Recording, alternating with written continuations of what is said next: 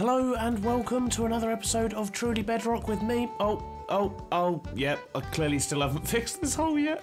Oh dear, that was silly of me. Right, let's quickly, uh, let's get out of there. Yeah, there we go. Cool. Right, take two. Hello and welcome to another episode of Truly Bedrock with me, Mr. Beardstone.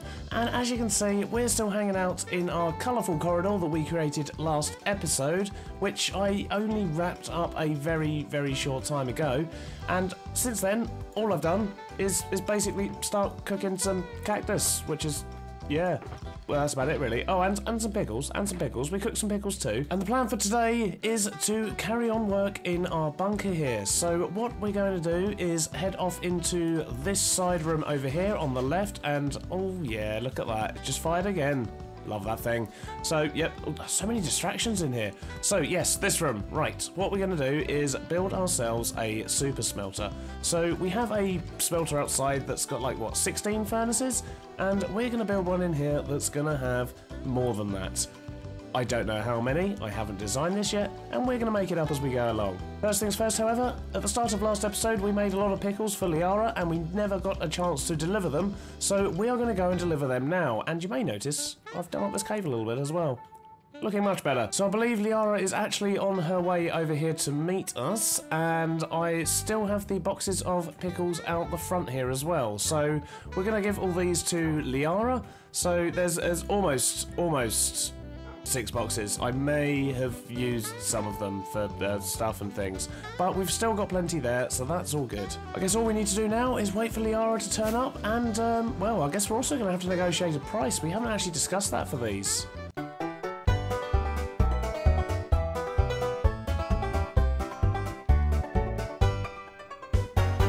Hello. Hello, welcome. How are you doing? I am doing good. It's uh, good to actually be over here instead of just flying past. I have um, I have some pickles for you. Uh, uh, don't go in the water, by the way. There's a guard. Much th- appreciated. th- th- there's at least one guardian in there, possibly more. Um, Do I want to know how that happened? And I, I kind of want to know how that happened, if I'm perfectly honest. But uh, I'm assuming it's something to do with the Guardian Farm spillage. But he's, you know, he's, he's become part of the furniture now, so um, it's fine. He lives here now. I'm pretty sure there's a couple on the other side of the island as well. He's protecting my borders from unruly foxes. Well, I mean, if you're happy with them, I'm sure a few more could be arranged. No, no, no. One's fine. One's fine. I'm just gonna quickly have a nap, and I'll be right down to sort out the pickles for you. Uh, uh, Get out! Get out of my bedroom! Ah! Wow. Sorry, sorry. Wow, Jesus, it's like personal personal space, Lyarrah. Jeez, jeez. I'm. American. We don't know what that is. fair enough, fair enough. Right, uh, yes, pickles, pickles. Um, you asked for five shulkers. There's about five and a half there. May I ask why you needed so many pickles? Yeah, I'm uh, trying to trying to make the drowned. Yeah, I want the drowned to stop coming ashore at the, the shopping district. Like, what's the point of it being in a mushroom biome, quote unquote, if uh, we still get attacked by drowned constantly? Ah, I see, I see. Cool. Well, um, yeah, lots, lots, lots of pickles. Yes. Uh, how much do I owe you? Well, I mean, if if if they're for, if they're for the shopping district, I couldn't possibly charge you. I'm I'm I'm fine paying, man. Like it, it is. If you don't need, uh, yeah, if you, if, you, if you don't actually need the diamonds, I'm sure I can pay you with something else instead. Like I got, I got spare elytra. Oh, oh Um, no, I, I, I, I could definitely do with diamonds. I just got scammed. Oh, jeez. Okay. Yeah, by Tiz and Jesse. oh no. Yeah. I mean, it was called it was called Scam Four. To be fair, I mean, I kind of had an idea what I was walking into, but yeah, Oh, they got me. They got me. They got me good. So, so yeah, I, I could do with some diamonds, like just whatever whatever you think they're worth. Really, as I say, it's for a community project, so I don't mind. Yeah. Um. I mean, about a about a block a box, you think, or Oh, not not not that much. Dude, half that, half that. That'd be fine. half that? Okay. Yeah. Alright, um, oh yeah, let, let's let, let, let's let's call it three blocks in total then. Which I, su- I suppose, yeah, that's that's that's, that's going to make it basically basically half price pickles. yeah, More than, well, better, that- better better than half price because you can keep the shulkers as well. I I've got so many shulkers. It's unbelievable. I do now too. Now that I finally went, like, I I want like don't want to forgive you for trying to kill Tiz, but at the same time, I I got to go end raiding because of it. So like, Oh, exactly. know. So, like, ev- everybody won. Tiz didn't die. I wasn't trying to kill him anyway. I was just trying to give him a little scare. That's all I've been trying to do this whole time. For some reason, people think I've been trying to kill him. It's very weird. yeah, yeah. And see that that that's the only reason you're not getting this right now. Oh, oh, whoa, I whoa, whoa, whoa, whoa, whoa, It's because whoa, I want to whoa. give him a scare too. Whoa, whoa, whoa! There was there was no need to just pull that out of nowhere. Jeez, jeez. I said you're not getting it. I just put it back in the ender chest. Okay, I, I okay, want thank I want to give him a Oof. scare too. So Oof, I've, I've, I've only just got rid of that. God. But uh, yeah, and, and last time I got tagged, I was at my base as well. no. Yeah, no, I promise. Legitimately was just like being like, hmm. Okay, okay, But cool. no, it's going it's going to Tiz. Good. I mean, to be honest with you, like my, my plan was to get Tiz or Foxy because I, I didn't believe either of them had had it yet, and uh, and I got Foxy, and uh, I don't think he was very happy about it, but it's fine. I think he, he was fine once he had it. Yeah, He- he, he got me, so oh, I see, I see. So it's only gone from Foxy to you. I see. That makes perfect sense. Oh, oh, yeah, yeah. We'll we'll just cut back to this bit, and we'll never talk about the. The, the, the super secret I just told you. We'll just just miss that out. Miss out the secret, you know. We'll be talking about and then suddenly we're just we're just here. There's a missing bit. Yeah. Yeah, We'll be fine. just pretend it never happened. Yep. It's Yep. okay. Cool. Sounds good. Alright. See ya. Yeah, Take see ya. Bye. After that short meeting with Lyarrah there, I came over to the shopping district to spend some of those diamonds, get myself some more sea lanterns, well, partly to fix that hole, but also because we are getting through a lot of them. And you know when I kind of broke the sea lanterns last episode without my silk touch pickaxe? I have done that a lot. And I mean a lot. So as a result, I've also brought lots and lots of prismarine shards so that I can just remake the ones that I've smashed because I'm a silly. I was also about to leave the shopping district. I thought, well, you never know, someone might have bought more pickles and they hadn't, but I forgot to check this last time and this had more diamonds in, but not only that, look at this.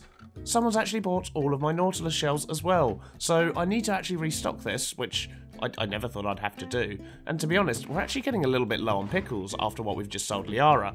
So we're going to get some more pickles in here, we're going to get some more Nautilus shells, and we're going to get this place restocked.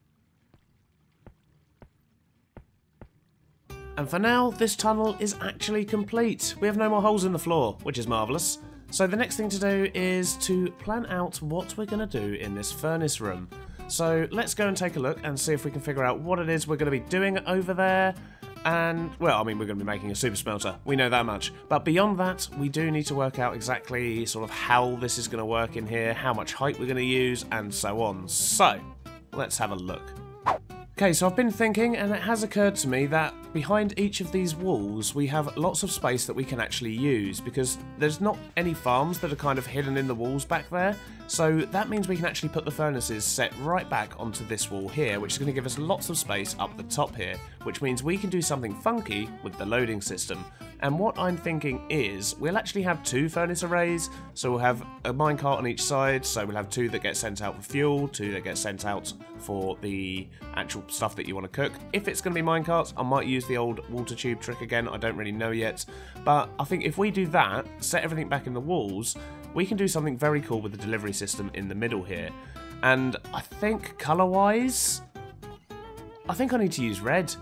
So I could even use like red going into orange and yellow, make it look all fiery and big. And yeah, I think yeah, we're gonna have fun with this one. So the first thing to do is to go get myself lots of resources and start planning out one side of this. So where the delivery systems are gonna be as well. I think probably just a stack of chests in each corner maybe, unless we do something funky. And yeah, I, I don't really know. But yeah, we're gonna go grab some stuff and actually start laying out exactly how we want this furnace room to look. So I've been playing around with a few ideas, and I think I may have actually settled on something now. So there's a lot of mess here, so bear with me while I try and explain what's going on here. Each unit is essentially going to look like this. So we have the minecart that's going to run around the inside here, and the reason I've done that is because if I actually run it around the back, they're going to be outside the chunks. And then I've got a minecart going through one, two, three separate chunks, and on Bedrock, that's generally a bad thing because that minecart, knowing my luck, is going to disappear with all of my stuff in it. So I've actually pulled that round and we're going to have like a gantry that runs around the inside. I don't know what materials I'm going to do it with yet. I've just used iron there for now because that's what I had on me. And I think the iron trapdoors work, but not so much the iron blocks. And then for the furnaces themselves, what I've got is a uh, system here, which is actually what's going to be fueling it. But I will get to that in a moment because that's going to be a bit weird. And then we've also just got, you know, when it's when it's done, when it's um, smelted, what it's trying to do, that's the one. Words are difficult this morning, it would seem. So yes, once it's smelted what it needs to, that will go into this dropper, which will automatically fire into a water channel, which is going to run from here all the way round, and that will put everything where it needs to be over this side. The only thing I haven't quite worked out yet is obviously a water stream can only go for eight blocks, and that'll be one, two, three, four, five, six, seven, eight. So it's only going to go to here. So that means I need to put ice there. If I put ice there, then anything that gets spat out from that dropper is probably going to end up getting stuck there. So I need to run a couple of tests and see if other stuff that comes past then connects with it and picks it up as it goes along, which I think it probably will, but I also want to make sure that stuff coming along doesn't join that one and then just also get stuck. So yeah, I need to figure that out. I might have to skip sort of a furnace every seven or so blocks, which is going to reduce the amount of furnaces I have by two, but I think I worked out we're going to have 36 in here at the moment, so that's not necessarily a bad thing. We're still going to have many, many furnaces, and a lot more than we've got out there, so that should work fine. In regards to the materials, I'm going to be replacing all the floor out here with red glass and some red concrete as well, and then I think I'm gradually actually going to maybe get some orange and some yellow in it as well, I'm not entirely sure, but the main colour here is going to be the red, but we'll see how that turns out. The last thing, of course, is the fueling, and I said that was going to be a bit different, so what I'm thinking of doing is down there, obviously, we've got our kelp farm, as we have seen previously, and we've got our sort of loading system here, which is every time we make kelp blocks out of these, we just make them there, we throw them in here, and they go up and they fuel the smokers that then cook more kelp. That water tube then runs around the back and deposits into these, which is where all the excess ones go, as well as that block of granite, which is probably a bit of a giveaway of where I've been. So what I'm thinking is, when it gets to here, instead of starting to, like, you know, go into these chests and so on, what if we send it up a water tube, which will then come all the way up the top here, so the water is just there on that line there. It's probably a bit dark, you might not be able to see that, but, um, yeah, I think if we actually redirect that and send everything up here, we can then send it straight into the back of refueling these as well. And then what we can do is make sure that all these are full and so on and so on and so on, and then just pump it back across via another tube, which we'll probably have exposed a glass tube so we can seal the kelp moving around. And then we can literally just drop it back down this tube here, which will then put it back into the boxes down the bottom. So we'll actually be connecting our two sort of cooking systems so that they're reloading and refueling, so to speak, from the same point but also any excess is still getting deposited where it needs to be. And I think that will work quite nicely. I mean, it's a bit long-winded. It means I'm going to have to keep it fully fueled all the time in order to keep everything fueled. But with the amount of kelp blocks we've got, that is not going to be a problem. Lastly, in order to load in what we're going to need in the minecarts, I didn't want to have the minecarts having to come all the way down, then bounce back up, because that's going to take too long for the furnaces to keep burning continuously.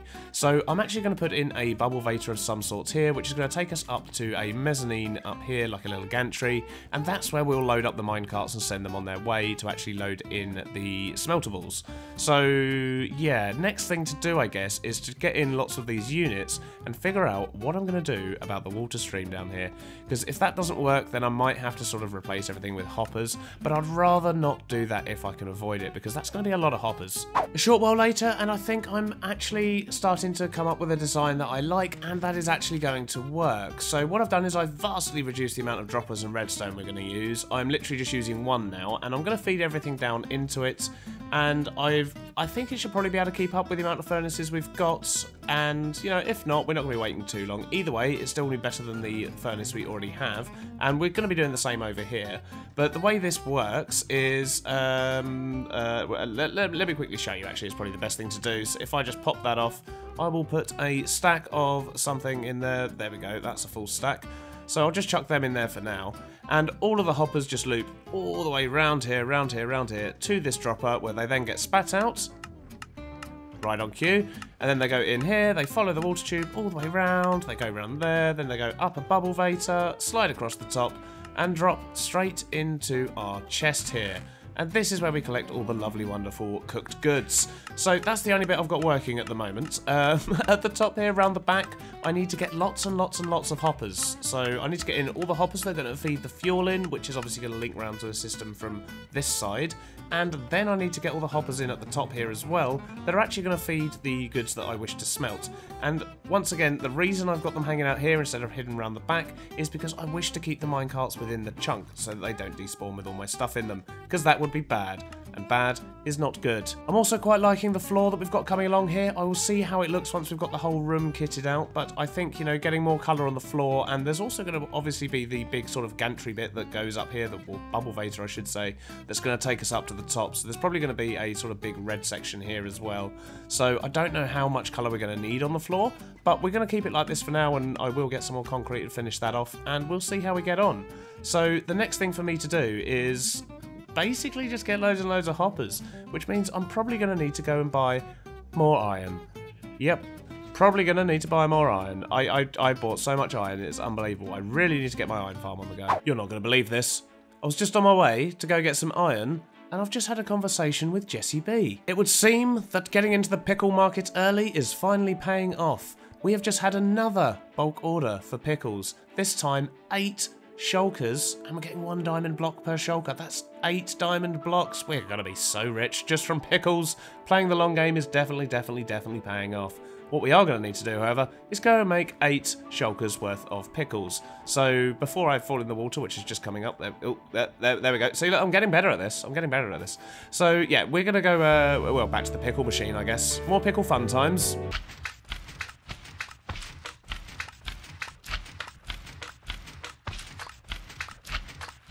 After a little while at the pickle machine, we now have eight shulkers of pickles ready for Jessie. She's offline just at the moment, but once again, hopefully we'll catch her before the end of the episode. But in the meantime, we need to get back to our furnace. So let's quickly go and check where we were at, because I've already forgotten. I've just got pickle brain right now. Ah yes, I remember. I need all the hoppers in the world. So we're gonna go and make all the hoppers in the world. And I did actually just see on Discord as well that the iron shop has been restocked. And as we know, we've got many diamond blocks incoming, I think we can afford to splash out a bit. So we're to go buy loads more iron because we're about to use it all, and then we're probably going to buy more again. We, um, yeah, we spent we spent all of our diamonds, every single last one of them, on on iron, literally just iron. But we have lots and lots of hoppers in place, and we also have plenty of backup iron as well. I've literally bought probably about four times the amount I need, because I also need it for flint and steels, but we have managed to get all of the hoppers in around the back here. That are going to feed the furnaces with fuel, and if I go up the top here, we have actually managed to get the fuel line put in as well, and this is all working a treat, and you will find that all of these are actually full up. I have used just some wood for the last few of them, just to make sure that they're full, so I could test the overflow system too, which we'll get to in a moment, but this does does all work an absolute treat. And all the overflow goes out that way and then drops back down into the boxes below, back into the kelp farm. So as I say, a few of these ones here have got a bit of wood in the back of them just so I could test the overflow for the kelp. But I, I also may or may not have got a little bit carried away and I, I kind of built the whole thing. So essentially it got quite late by the time I'd made all of the hoppers and things like that. I couldn't really do any proper recording, but I did want to get this build finished. So I just I just cracked on and got it all done. And the whole thing is working a treat and looks absolutely awesome when it's turned on. So I'm going to quickly grab a few things to cook and I will show you what that looks like. Right, I've got some sand which we'll put in to make some glass, but just to give you a quick rundown, it's a fairly straightforward system. There's a line of furnaces that go around here and they are actually behind these bits as well. I've just covered up the front of them because it looked a little bit weird, and I wanted to make sure that everything looked nice as well as actually being functional. So only about sort of two thirds of the furnaces are visible. Behind these columns there are additional ones, and these all basically feed into this hopper line which goes all the way to the end into a dispenser which then spits them out through the water stream, and then they go round, float up, and then this is the chest that everything gets dumped into at the end. So let's jump up the top here and feed the system. So we technically have two different furnace arrays here. They're fed via the same fuel system, which as I say goes round the back of the furnaces and the excess comes out the top here and then drops back down to the ground floor down the bottom there.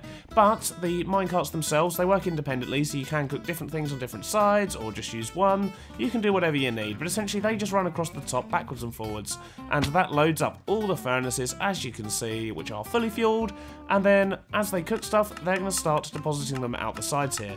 So this is where you start getting all the items items flowing around the side and going into the tubes here. Glass probably wasn't the best thing, it's going to be fairly difficult to see it in comparison to some other items, but there we go, and that's literally just going to drop straight into the chest here.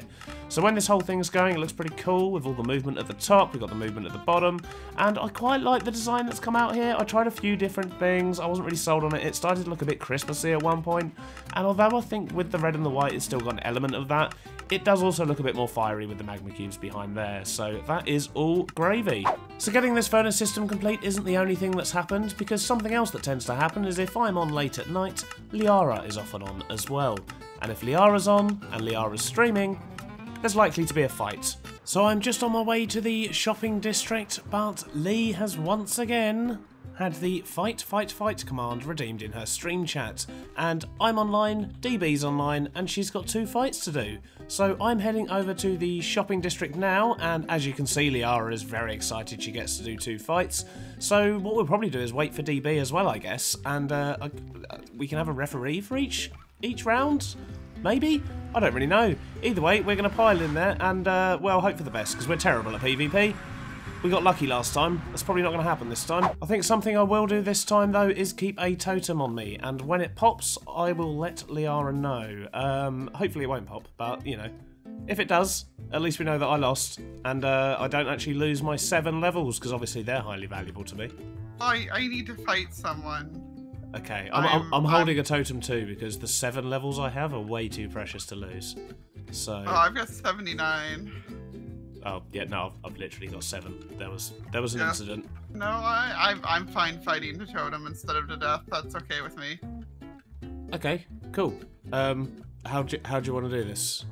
I feel like last time um, last time may have been a bit unfair because you didn't have your sword and I jumped you. So. Uh, I mean, I've got my sword. Yeah, which is why I'm concerned. well, I mean, you seem to have learned from Foxy because you've got an axe, so. Oh, I've li I was literally 5,000 blocks out chopping wood. Oh, okay. I, I, have a sword, an axe, a bow, and a desire to live. Just three, two, one, and we we, we, we jump off and, and start fighting. Sounds good. All right. So three, two,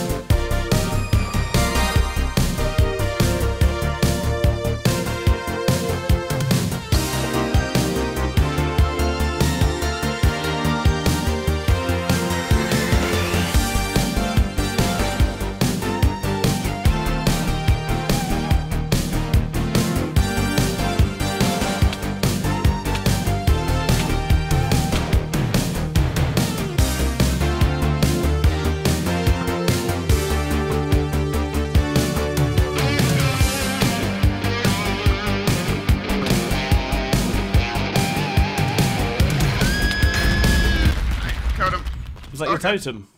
Yeah. Oh, wow. And would you believe it? We only went and won again, which is just weird.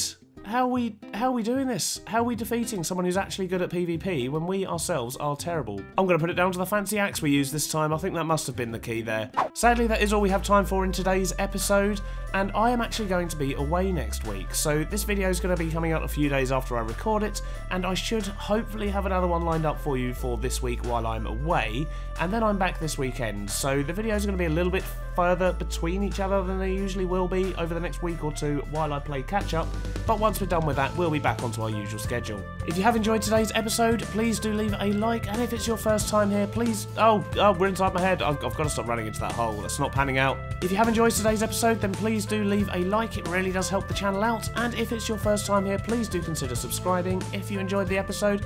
And I hope to see you back here on the next one. Bye bye now.